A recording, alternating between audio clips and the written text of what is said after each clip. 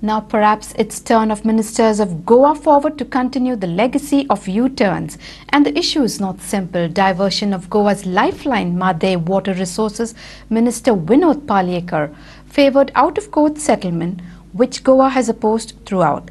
And within hours, he took a U-turn and opposed out-of-court settlement. Watch this report. Palekar called it a personal view on the Mhadei issue and supported Karnataka's demand to have an out-of-court settlement and that too to save public money on the court matter. This is what he said on camera. Listen to this.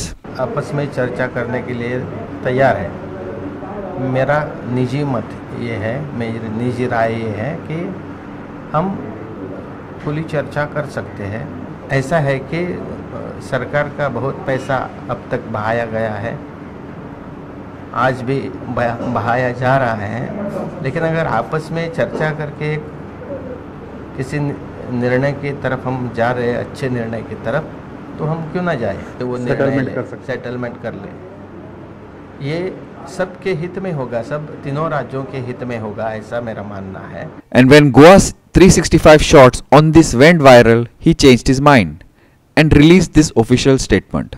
There will be no compromise or out of court settlement on the Mhadei case with Karnataka. This is the official stand of my department. I will discuss the matter with the Chief Minister. Karnataka, on one hand, is asking for an out of court settlement, and on the other hand, they are playing from behind. Their witnesses have been well exposed in the tribunal at New Delhi, and our legal team, led by ASG Atmaram Nadkarni, is doing a wonderful job.